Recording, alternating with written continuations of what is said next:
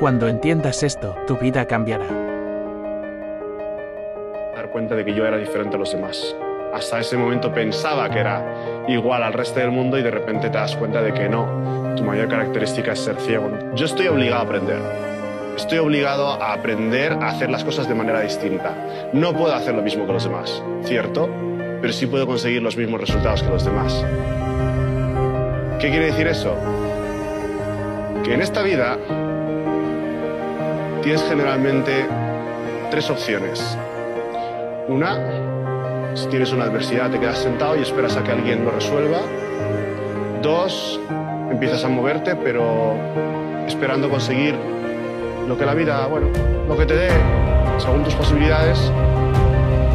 Y tres, es negociar con la vida y decirle, mira, yo quiero esto, no sé cuánto me va a costar, no sé cuánto voy a sufrir, pero voy a por esto.